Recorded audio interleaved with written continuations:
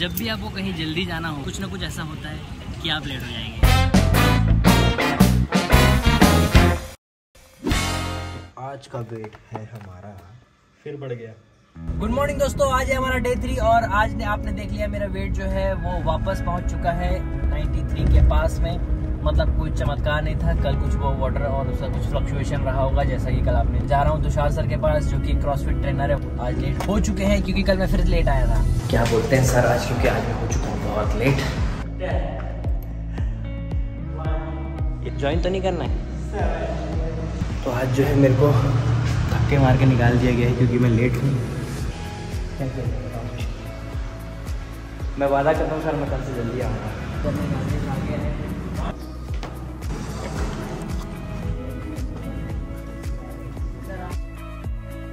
तो आप देख सकते हो दोस्तों मैं अकेला नहीं हूँ। मैं तो 10 मिनट की रनिंग कर भी लिया हूँ। पर ये जो लड़का है ये भी तो सर क्या कहना चाहेंगे वैसे स्टूडेंट्स के लिए? कुछ नहीं हो सकता इनका ना? वैसे लोगों मैं तो नहीं आप भी हो। आप पहले पे हो फिर सर। मेरे को कॉल किए थे। मैंने आवाज़ ऐसी बनाई कि जैसे मैं तो सो के उठ गया हूँ। हाँ सर पहुँच रहा हूँ ना। बस दस मिनट में पहुँच रहा हूँ मैं तो उठ गया हूँ। मेरा भी ऐसा नहीं लग रहा है। होगा तो मेरी गर्लफ्रेंड के साथ ही हो जाएगा नहीं तो अबे बताना तो चाहिए उधर बैठा। अभी कभी भी कैमरा चालू हो जाए। हाँ सर आप कुछ बता रहे थे। नहीं नहीं सर मैं शादी करने वाला हूँ। ये देखिए लड़का ये इमोशनल हो गया इस जगह में आके।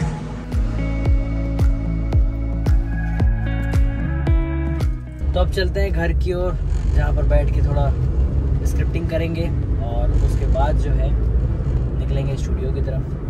फिर शूटिंग करेंगे आज की चालू। हमारे पहला पेल न्यूज़ प्रैंक की। तो दोस्तों मैं आ गया हूँ उसी लड़के के पास। और रास्ते ये भग भी नहीं सकता क्योंकि किसी गाड़ी मुझे दिख रही है। ये कैमरा देखते ही भगा है तो मुझे कैमरा थोड़ा छुपा के रखना पड़ेगा। बंद कर दिया हूँ बंद कर दिया हूँ आजा।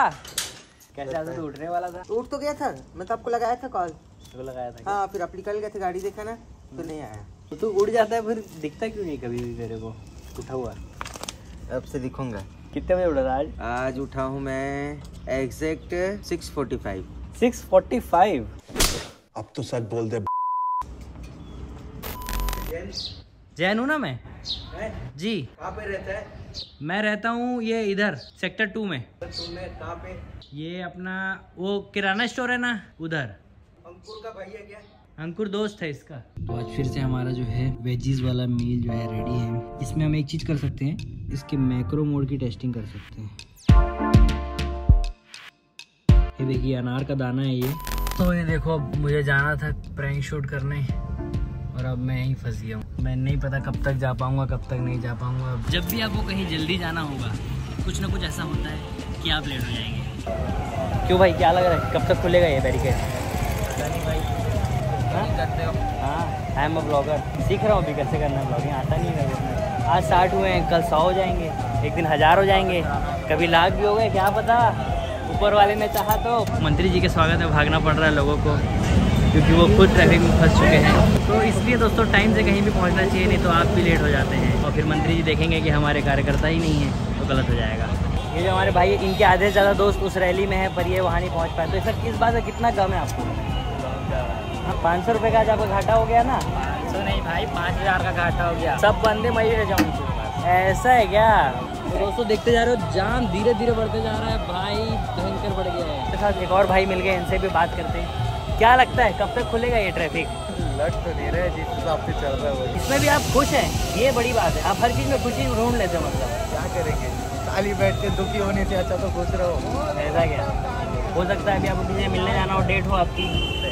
नहीं फरवरी आ गया ना इसलिए नहीं भाई हम सिंगल सिंगल हो गया ये तो फिर और दुख की बात है खुशी की बात है सिंगल खुशी की रहना बात है ना? चाहिए ਹੱਸਦੇ ਚਿਹਰਿਆਂ ਦਾ ਮਤਲਬ ਇਹ ਨਹੀਂ ਹੁੰਦਾ ਕਿ ਉਹਨਾਂ ਨੂੰ ਕਦੇ ਕੋਈ ਤਕਲੀਫ ਨਹੀਂ ਹੁੰਦੀ ਉਹਦਾ ਮਤਲਬ ਇਹ ਹੁੰਦਾ ਕਿ ਇਹਨਾਂ ਨੂੰ ਤਕਲੀਫਾਂ ਨਾਲ ਡੀਲ ਕਰਨਾ ਹੁੰਦਾ तो बढ़िया है अपन यहाँ रुके हुए हैं। चलो ट्रैफिक खुलने वाला है चलो मिलते हैं भाई मिलते हैं चलो चलो चलो ट्रैफिक खुलने वाला है ये देखिए कितनी बड़ी रैली थी ये ब्लॉगिंग करने के कुछ तो फायदे हैं ऐसी बात नहीं है मुझे लग रहा है कि मैं जितने भी लोगों से कनेक्ट होता हूँ, मिलता हूँ, उनके साथ कुछ मस्ती मज़ाक करता हूँ, कुछ बातें करता हूँ, वो सब मैं कैप्चर कर पा रहा हूँ। वो फिर कभी मिट नहीं सकता अगर मैं इसको नेट में डाल देता हूँ। तो ये सबसे बड़ी अच्छी बात लग रही है मेरे को ब्लॉगिंग अभी जैसे मैं थोड़ा फॉर्मल होकर बात करता हूँ तो धीरे धीरे मैं इसको एकदम नेचुरल करना चाहता हूँ, ताकि जो मैं जी रहा हूँ, वो आपको एज इट इज़ दिखे और उससे आप कनेक्ट हो। उनको मिल गए हैं ऋतिक भाई। ऋतिक भाई! आपके लिए तो खोले स्वागत में। आ जाओगे ना? अरे ऋतिक भाई, गजब कर दिए यार, देख रहे हो? दोस्तों, ये होता ठसन। चलाओ तो ऐसे चलाओ, वरना मत चलाओ। क्यों भाई? कौन गांधी जी? हाँ चले गए चले गए। वही तो फंसा था अभी, इसलिए आ नहीं पा रहा था। तो ऋतिक भाई पूछते, गांधी जी चले गए? मैं शौक हो गया एकदम से, भाई, गांधी जी तो गए, उनके जमाना बीत गया। फिर बोलते, राहुल गांधी अच्छा। तो ये भी जो है, बहुत अपने फिटनेस पे ध्यान दे रहे हैं। उन्होंने थर्टी से फोर्टी के जी कम किया है अपना। तो ऐसे लोगों से बहुत इंस्पिरेशन मिलता है कि भाई, करना तो पड़ेगा, कुछ बढ़िया। तो दोस्तों, हम लोग को अभी एक शूटिंग करना था, जिसमें हम लोग को एक डंडे की ज़रूरत है। एक आदमी मेरे नज़रों के सामने दिख रहा है, जो बड़े प्यार से मुस्कुरा रहा है। तो भाई, वही है। जो शक्तिमान प्रैंक में जो कपाला बने थे, ये हमारा नया ब्लॉग चैनल है। आजकल हम लोग ब्लॉगिंग भी चालू कर दिए हैं। जितने धंधे हैं, सब खोल दिए हम लोग ने। सुनो ना एक बात बताओ इसको यहाँ पे काटना है इस लाइन से। काट देता हूँ ना भाई। कैसे कटेगा अब ये बताओ इसे काट देता हूँ। हर मर्ज का दवा है हमारे कपाला भाई के पास। चलो फिर काट दो फिर फटाक से। देखो आपका पैंट मत काट देना भाई प्लीज़ वाह। इसको कौन काटा है? कपाला। तो क्या बोलना है? अंधेरा कायम रहे ऐसे करके। अंधेरा कायम बहुत बहुत धन्यवाद। आपसे मिलते हैं जल्दी। ठीक है? तो चले भाई।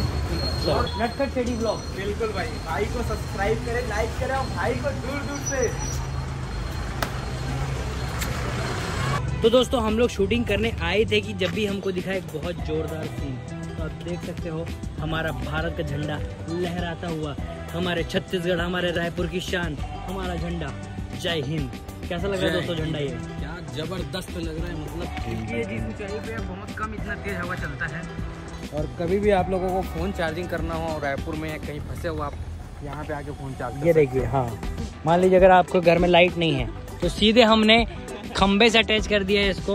कोई टेंशन वाली बात नहीं है। लोकेशन में डाल देता हूँ अपना पंसी नगर ठीक है? यहाँ पर आप आ सकते हैं। Direct no power cut no power cut तो गाइज़ आप देख सकते हो खाना खा रहे थे।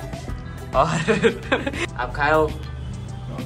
इतने प्यार इतने प्यार से प्रवीण भाई हो बोले ना कोई भी लड़की फिदा हो जाएगी तो ऐसी बहुत लड़कियाँ फिदा है। कई लड़कियाँ इनके नाम से हाथ काट चुकी हैं।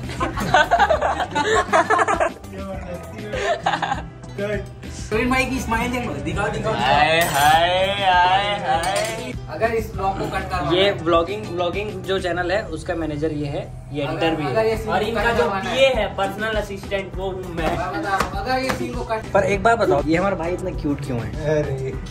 मैंने उसको इतना देखा जितना देखा जा सकता था पर फिर भी दो आँखों से इतना देखा जा सकता आए हाय पहले ये है क्या? लोगों को दिखा तो दो भाई। माउथ फ्रेशनर है माउथ फ्रेशनर चुटकी माउथ फ्रेशनर कहाँ है चुटकी? चुटकी।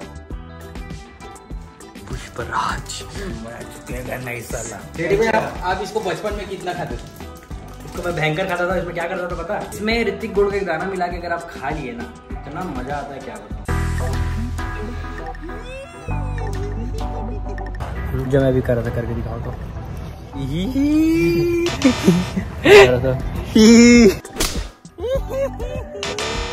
मोर भाई अनिल सिन्हा आए हैं यार। अरे भैया मैं वीडियो देखे रहे हो। वायरल बता तो वीडियो बनाओ देखा रसन बनाओ नहीं तो मोरा सन बनाओ। मैं प्रोडक्शन हाउस खोला हूँ? क्या बात कर रहे हो? बहुत बहुत धन्यवाद यहाँ आने के लिए। ये तो बंद भी हो गया प्रोडक्शन हाउस लिए ना। हाँ, वो साहित्य उपाध्याय को रखा हूँ देख रेख करने के लिए। ऐसा ना? अच्छा अच्छा लगा तो मैं अच्छा लगा तो दोस्तों अनिल भाई आए और हमने उनके लिए उनका एक स्केचर बना के रखा था छोटा सा मिनिएचर ये मेरे लिए बहुत ही सौभाग्य की बात है कि स्टडी प्रोडक्शन हाउस में मेरा स्टेचू भाई रखे हैं। और हमारे बहुत बड़े एडिटर भाई आए हैं। और ये हमारे एक्टर और ये हमारे मराठी भाऊ जो दिखते हैं क्रिश्चियन हैं। तो दोस्तों अभी जो है फिर अंधेरा हो रहा है। रोज अंधेरा होता है। अंधेरा होता क्यों है? ब्लॉग को एंड कर हाँ। हाँ आज का ब्लॉग जो डे थ्री का भी यहीं ख़त्म करते हैं। हम लोग की शूटिंग भी जो है ऑलमोस्ट ख़त्म हो गई है। तो मिलते हैं कल के ब्लॉग में डे फोर में। I love you all